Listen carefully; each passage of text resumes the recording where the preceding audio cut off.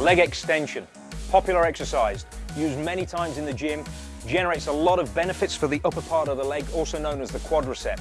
We're going to look at the leg extension here. This is a key exercise in life. We use these quadriceps in everything we do, even when we're simply standing still.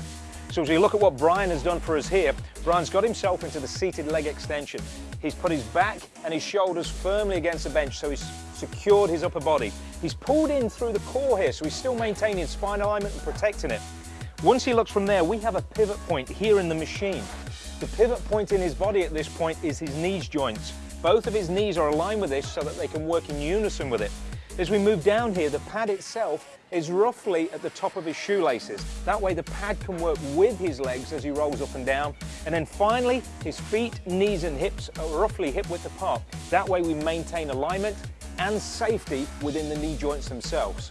So as Brian starts here, he's going to take a breath in, and as he breathes out, he's going to powerfully extend his legs up. That's strong, that's good. Look at how we're working right the way through here. He's moved all the way up to where he's almost locked out, but not quite. That way he maintains the tension on the muscles and not the joint, so he gets maximum benefit. You'll also notice as he lowers back down, it's smooth, slow, and under control, but the weight stack itself never touches. That way we never lose the tension throughout the exercise. He never rests, he gets maximum benefit for minimum reps from this workout. As he comes up here, just notice, nice, smooth control. But here's what we're gonna do. To get two for one, so not just the quads, we're gonna get the front of the calves. He's gonna pull his toes in tight. By pulling his toes in, he's gonna work here. See how that's already bulged up?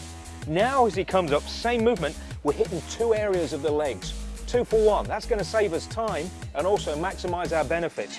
So let's just see one more really good one for me, Brian. That's good.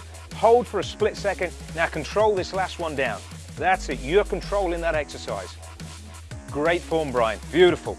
So if you too also want to have that ultimate total body workout where every part of your body looks as good as you want to look, then you follow this form. Two seconds up, slight pause, two seconds back down. We're looking 18 to 24 repetitions here. You'll know that you've done it, and then you too will have that ultimate body that you're proud of.